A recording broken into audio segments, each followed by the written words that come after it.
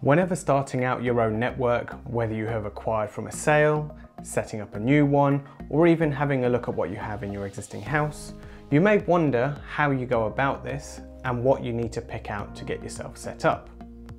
So you go ahead, you pick out what you need, then comes the big problem that everybody hates.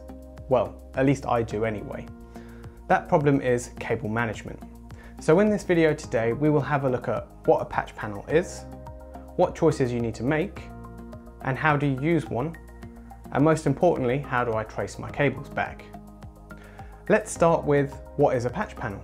Well, if you're running cables from all areas of your house or business, you're going to want to run them back to a central location. So what a patch panel does, it provides you a neat and tidy approach to your cable management. It is simply a line of network ports on a 1 or 2U rack mountable unit that you can then connect your cables to. At this point you're probably thinking, well why don't you just plug these cables into a switch? And the answer is, well yeah, you most definitely can. However, at that point, cable management may become a little bit trickier, and in the end, may end up looking like this. But in reality, what you really want it to look like is this. So let's talk about the patch panel itself. These panels are not just limited to network cables, they can be used for fibre, BNC, and a variety of other connections as well. Like everything else, there are multiple options, so let's break them down and see what choices you have. First thing to look at would be the type of connection and network speed.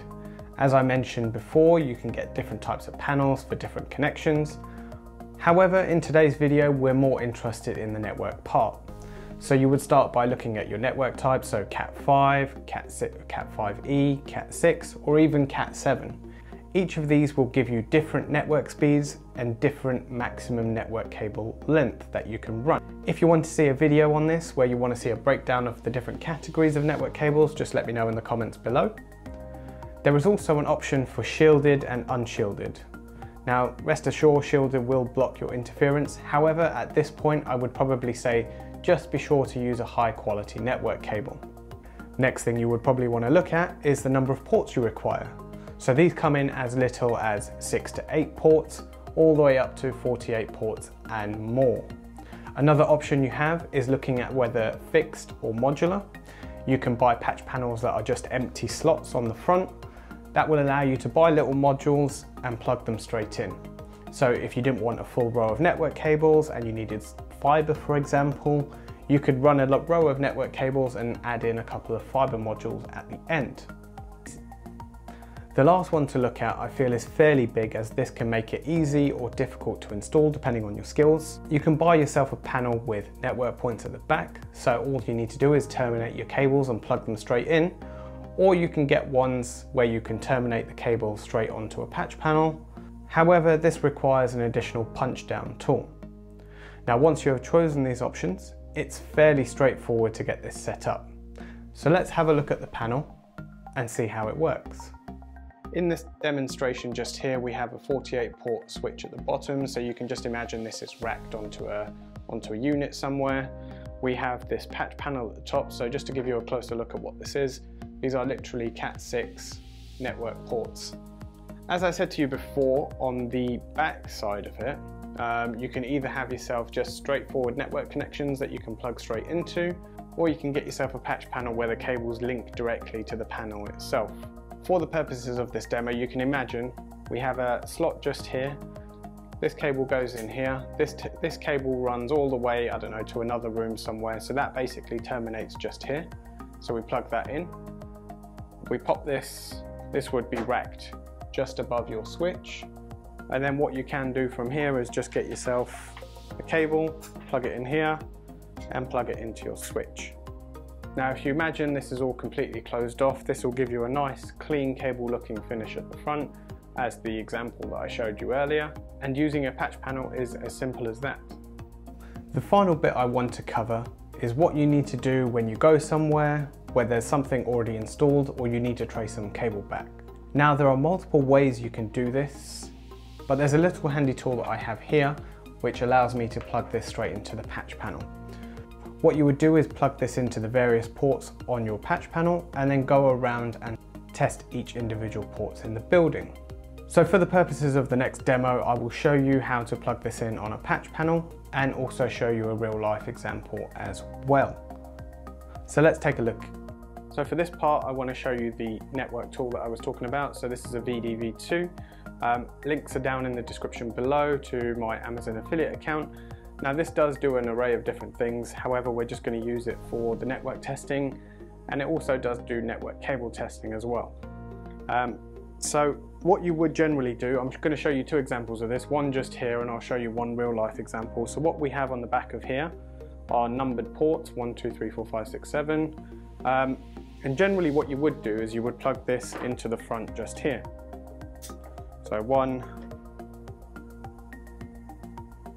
so you would plug them into the front just here. So we, for this example, I've just plugged in one to six. At the top, you can see there's a RJ45 port Again, I'll show you a real world example shortly. Again, you've got one, two, three, four, five, six, seven, eight on here. It goes all the way up to 24. Um, and if I plug this into the back of here, just gonna switch this around. So you can imagine this is, these ports are somewhere throughout your building or house. If I plug this in, I then know that that is number one. This one is plugged into number four. And this one is plugged into number six.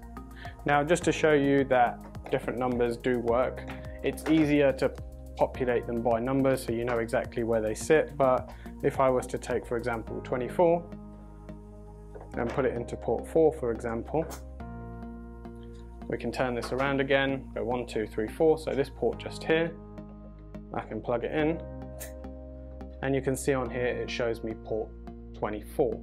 So it's probably best to use the numbering on the patch panel and set them up accordingly that way. As I mentioned, I would do a quick real life demo for you. So I'm just gonna unplug all of these at the moment. Okay, there goes all the network connectivity in my house. So let's start by popping these in, 24, 23, I have all these plugged in all the way up to 9 to 24. So let's go have a look at some ports and see what we can see on the other side. So you can see we're here with one network connection. Um, we have it turned on just at the moment like this. We plug into here and you can see we are in port 19 here, so make a note of that one. So just the next port then, same again, we plug in and you can see and you can see on here we are on port 21. If you've enjoyed this video or found it useful, let me know down in the comments below. Also do hit that like button and as always don't forget to subscribe for more weekly videos. Everything I've used today is in the description below so feel free to check them out. They are linked to my Amazon affiliate account and it does help my channel out. This is Inside Wire and I'll see you in the next one.